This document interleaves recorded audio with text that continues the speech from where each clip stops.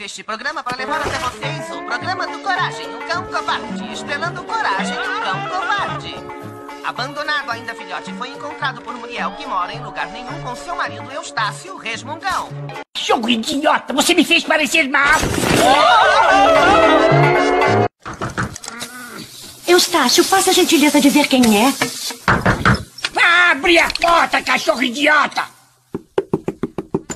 Uma carta para Muriel.